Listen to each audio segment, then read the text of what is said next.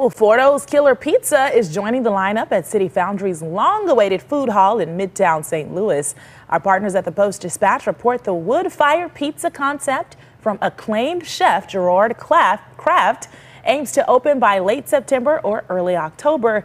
The food hall at City Foundry is scheduled to debut next Wednesday with 11 kitchens.